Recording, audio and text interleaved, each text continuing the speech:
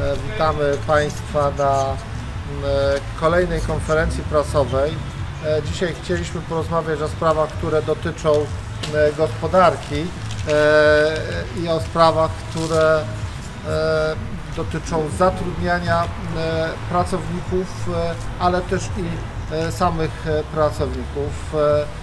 W Polsce praca musi się opłacać, stąd też chciałbym na dzisiejszej konferencji bardzo serdecznie przywitać e, pana profesora e, Andrzeja Żońcę, m, twórcę programu gospodarczego Platformy Obywatelskiej Koalicji Obywatelskiej. E, Osobę, z którą miałem i mam przyjemność współpracować od kilku lat blisko. Pan profesor Andrzej Żońca przez lata był również członkiem Rady Polityki Pieniężnej, więc e, świat e, gospodarki, świat finansów jest mu doskonale e, znany, a miejsce również e, nieprzypadkowe. Chcieliśmy się spotkać w takim e, miejscu, w którym z jednej strony e, pracują ludzie, zatrudniają, e, pracują i e, w ten sposób zarabiają na własne życie, a z drugiej strony e, e, jest przedsiębiorca, pracodawca, który tworzy warunki e, pracy i, daje możliwości zarabiania. E, Panie profesorze, bardzo proszę o przedstawienie tego pomysłu programowego, który sprowadza się do hasła praca musi się opłacać, a, a ja nie ukrywam, że e, e, mam nadzieję, że w następnej kadencji e, będzie on realizowany zarówno i w Sejmie, i w Senacie. Panie ministrze, bardzo dziękuję. E, Zanim e, o programie, muszę e, powiedzieć parę słów e, na temat e, e, kandydata do Senatu. Znam pana ministra od e, wielu lat. E, e, Pan minister wspomniał o tym, że to ja tworzyłem program gospodarczy, ale ja muszę podkreślić, że prace programowe koordynował e, pan minister. To on zapraszał bardzo różnych e, ekspertów. E, Przy tej okazji mogłem kolejny raz przekonać się o jego talentach organizacyjnych, ale także o szerokich zainteresowaniach. Naprawdę było to bardzo wielką przyjemnością móc Dziękuję współpracować z, z, z panem ministrem przy przygotowywaniu programu. Parę słów e, na temat e, jednego z filarów e, programu gospodarczego Koalicji Obywatelskiej. Praca musi się opłacać, program niższe podatki, wyższa płaca. Jednym z wyzwań, jaki, jakie stoi przed polską gospodarką, to podniesienie niesatysfakcjonujących zarobków. I projekt Koalicji Obywatelskiej to właśnie zapewni wyższe zarobki dla wszystkich pracowników, a nie tylko tych, którzy otrzymują płacę minimalną, ale nie kosztem pracodawców, a dzięki obniżce PIT i obniżce ZUS, a w przypadku tych osób, które otrzymują mniej niż dwukrotność e, płacy minimalnej, także dzięki premii za aktywność. Bo powtórzę, płaca musi się opłacać. Dzięki naszemu projektowi będzie więcej legalnej pracy, bo znikną bodźce do płacenia pod stołem. Przestanie się opłacać płacić pod stołem. Będzie więcej dobrej pracy, będzie więcej zatrudniania na podstawie umów o pracę, bo umowa o pracę, która jest e, najkorzystniejsza z punktu widzenia pracownika, bo dająca mu poczucie stabilności, stanie się także najbardziej atrakcyjna dla pracodawców. Będzie więcej legalnego zatrudnienia, to i będzie więcej inwestycji. Dzisiaj wielu przedsiębiorców e, nie inwestuje, no bo po co inwestować, e, skoro ma się problemy z, ze znalezieniem załogi do obsługi istniejących e, zdolności wytwórczych. Nasz projekt będzie także łagodzić wzrost cen. Ludzie będą zarabiać więcej na rękę. Przypadku osób otrzymujących płacę minimalną przy dzisiejszy, dzisiejszej jej poziomie byłoby to e, ponad 600 zł na rękę e, więcej, ale jeszcze raz powtórzę, nie kosztem pracodawców. Koszt pracodawcy się nie zwiększy. Dzięki temu e, nie będzie presji na wzrost cen. Uderzymy w dwa podstawowe źródła biedy. Co jest podstawowym źródłem biedy. Po pierwsze brak pracy, po drugie drożyzna. W naszym programie załatwiamy oba te, e, oba te e, problemy. To jeden z e, filarów naszego programu gospodarczego, ale nie jedyny. Na tym, że ludzie, pracownicy będą więcej zarabiać, skorzystają sami pracownicy, ale także ich pracodawcy. Dla przedsiębiorców mamy projekt o wsparcia ich rozwoju. Otóż e, w przypadku osób na działalności gospodarczej e, chcemy wprowadzić prosty i sprawiedliwy ZUS. Dzisiaj podstawą wymiaru składek e, na ZUS jest arbitralne 60% e, przeciętnego wynagrodzenia w gospodarce narodowej prognozowanego przez rząd. Dlaczego 60%? Nikt nie wie. My chcemy wprowadzić prostą zasadę. Podstawą wymiaru ZUS-u dla przedsiębiorców będzie płaca minimalna. To jest rozwiązanie sprawiedliwe, proste, jednocześnie dające e, oszczędność rzędu 2,5 tysiąca złotych e, przedsiębiorcom e, e, rocznie. Dlaczego sprawiedliwe? Ano przy takiej podstawie wymiaru e, składki na ZUS e, no, przedsiębiorcy będą mieli zagwarantowane e, zabezpieczenie społeczne na tym minimalnym poziomie, jakie mieliby zagwarantowane w przypadku pracy u kogoś. Poza tym chcemy wspierać wzrost. Dlatego o, wzorem Estonii wprowadzimy rozwiązanie zapewniające, że zyski przedsiębiorstw, które zostaną w firmie, będą służyć ich e, rozwojowi, nie będą opodatkowane. Opodatkowane będą dopiero zyski, e, które będą dzielone między e, inwestorów. Ale i w tym przypadku szybko rosnąca firma dostanie ulgę. Szybko rosnące firmy będą płaciły niższe podatki. Firma zapłaci tym niższy podatek, im bardziej jej wzrost będzie przewyższać wzrost całej gospodarki. Bo jeżeli firmy będą rosły, to będzie więcej miejsc pracy i będą rosły e, wynagrodzenia. O, taka formuła oznacza, że w pierwszym roku działalności firma nie zapłaci w ogóle podatku, oczywiście pod warunkiem, że także w kolejnych e, latach e, będzie się rozwijać. Naszym trzecim filarem programu gospodarczego jest e, projekt e, niższe koszty. Dzisiaj koszty życia, koszty działalności gospodarczej są podbijane przez politykę e, gospodarczą. My chcemy z tą złą polityką gospodarczą skończyć.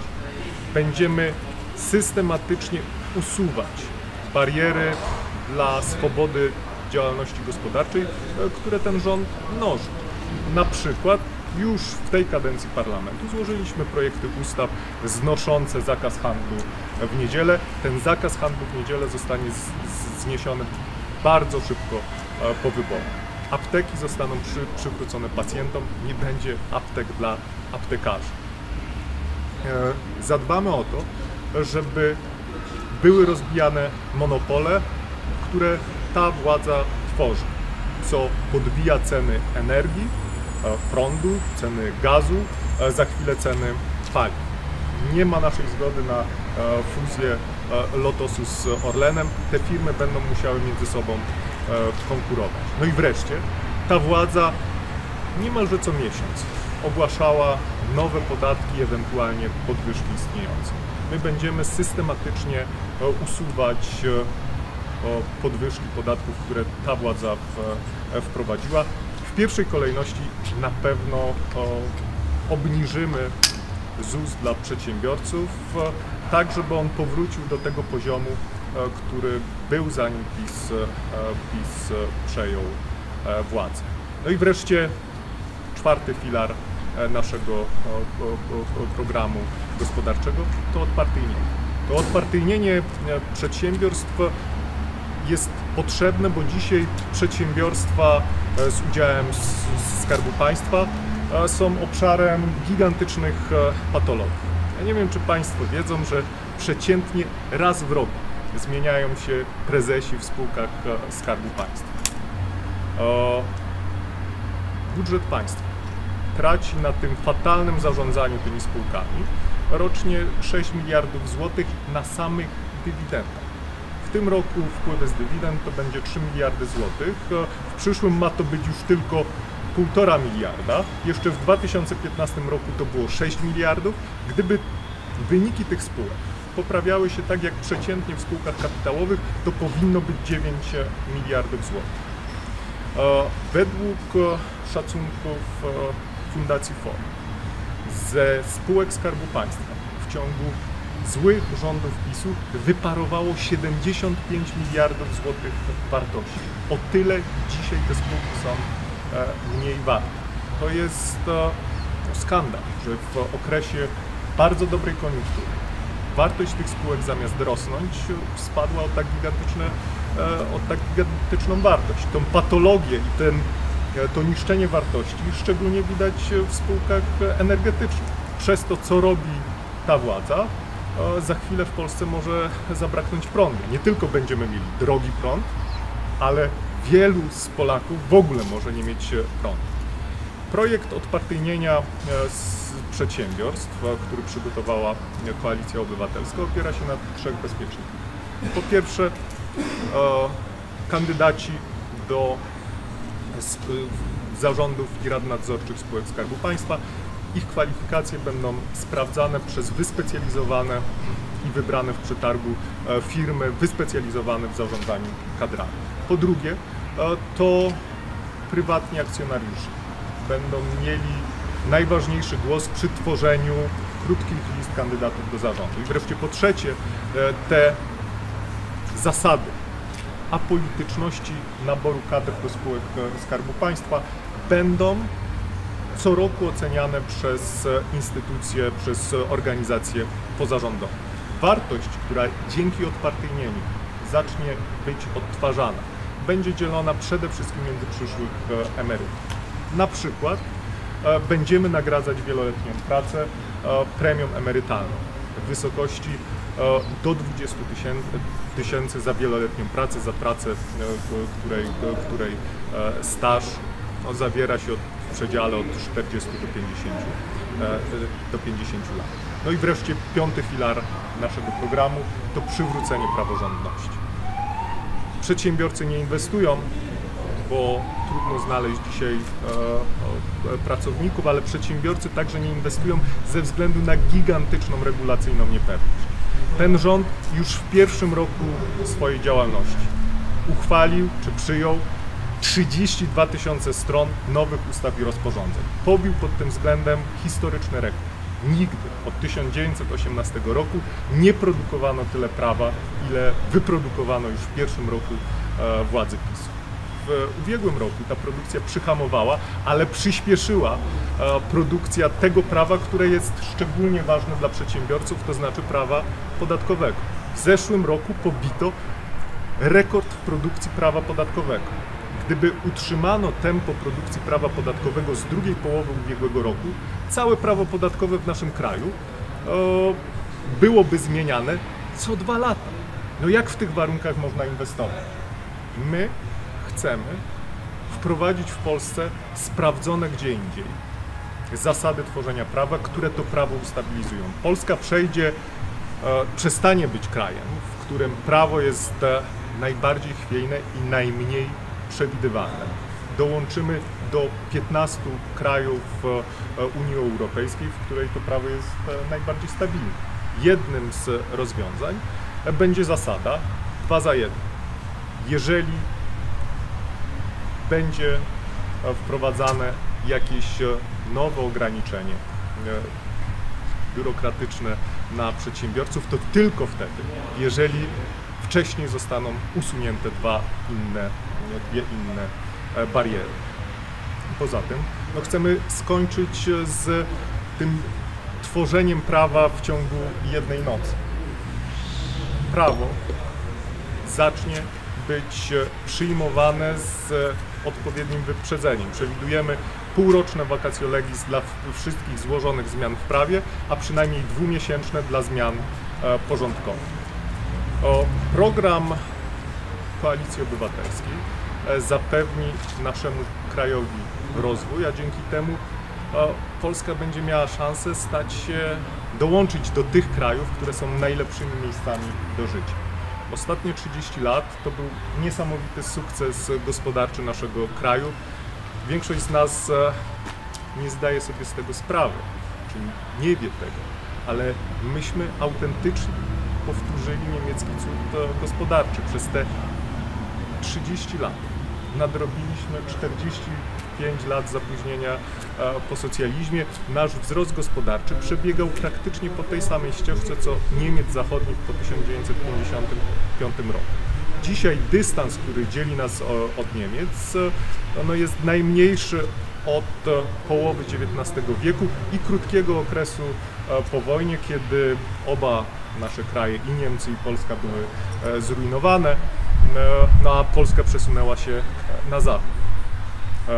No ale jeszcze daleko nam, żeby standard życia w naszym kraju był równie wysoki co w Niemczech. Powinno nam zależeć na tym, żeby w Polsce żyło się równie dobrze co w Niemczech i to jest możliwe, ale musimy przestać wzorować się na Węgrzech.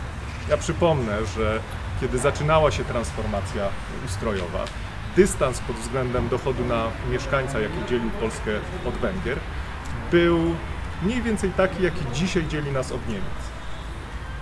Od 2012 roku jesteśmy krajem zamożniejszym niż Węgry.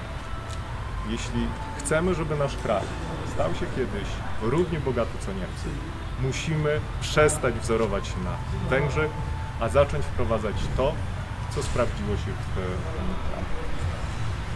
Dziękuję bardzo. E, Pan profesor tak naprawdę program przedstawił w bardzo dużej pigułce.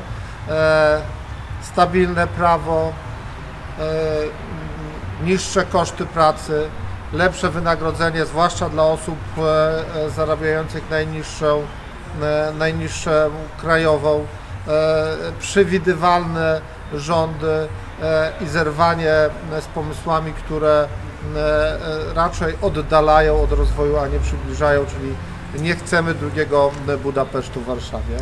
E, A jest taki polityk, Państwo wiecie, który od czasu do czasu o tym e, mówi.